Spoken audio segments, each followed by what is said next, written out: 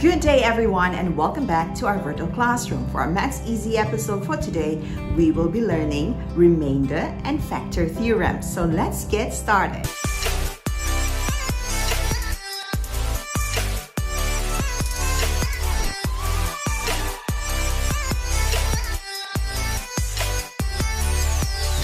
Our topic for our Maths Easy episode will be about a factor and remainder theorem. Now, when you are dividing or using to divide whole numbers to find a remainder, for example, we have 7 divided by 3.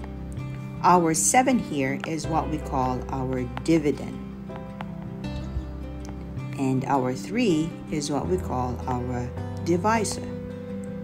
The answer, the whole number that we get when we divide 7 by 3, is what we call a quotient. And this, which is our remainder. That means that we get a remainder when a number is not divisible by your divisor. So for the case of 7 divided by 3, you only have two threes in 7 and you will have one that is your remainder, so you have to present it as 1 divided by 3 or 1 over 3. Now it's actually possible as well to do it when dividing polynomials too. For example, x squared divided by x minus 1. So when you divide x squared by x minus 1, you will get x, which will be your quotient, and plus x over x minus 1 will be your remainder. So here, if we are trying to work out the remainder when we divide a polynomial, we will have f of x, which is our function or our expression, divided by x minus a. You will get a q, which is your quotient, plus r, which is your remainder over x minus a. Here, our a is a number, q can be an expression or a term, and you have an r, which can be a number or an expression over x minus a, which is our divisor. Now, if we have this, then we will have the two theorem. For a polynomial, the remainder when f of x is divided by x minus a will be f of a.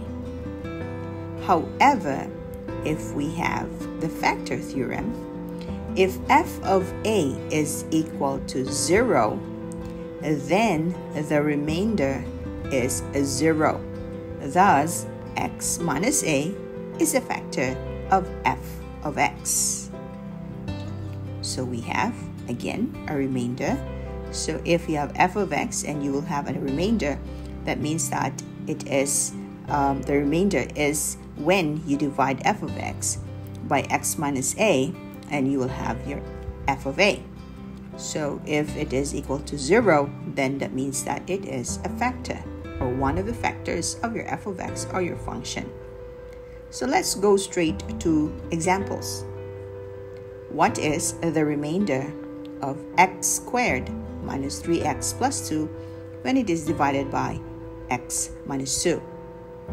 So how do we do it? First, that's x minus 2, hence you'll have x equals to 2. So that means your f, your x, you substitute it with 2. So that's x squared, so you'll have 2 squared minus 3 times 2 plus 2. So you'll have 4 minus 6 plus 2, that is a 0.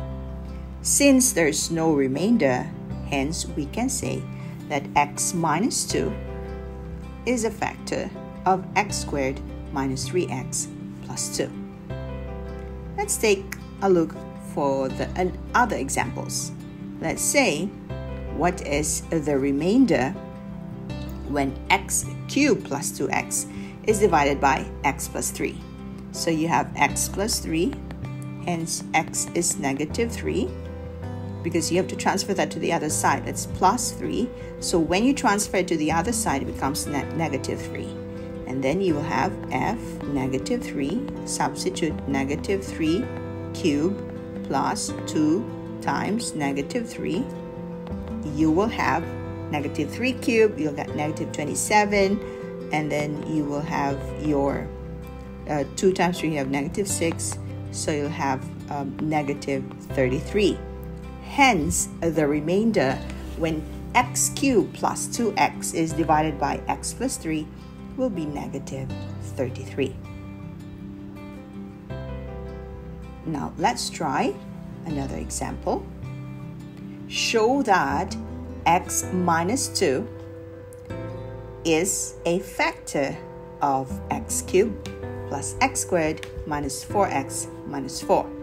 So since this is showing, that means that we are sure that x minus 2 is a factor. We only need to show that it is a factor using factor theorem. So we will need to substitute f2 because that's a minus 2, so you'll use the, the opposite sign, which is positive 2, equals 2 cubed plus 2 squared minus 4 times 2 minus 4. So this will be 8 plus 4 minus 8 minus 4. So 8 plus 4 minus 8 minus 4 is equal to 0. Therefore, x minus 2 is one of the factor. Now let's look into another example. Find the remainder when x minus x squared minus 5x plus 3 is divided by x plus 1. So you are asked that there is indeed a remainder, but you have to solve it. So we use the remainder theorem. f, that's a plus 1, therefore that will be minus 1 equals minus 1 squared minus 5 times minus 1 plus 3.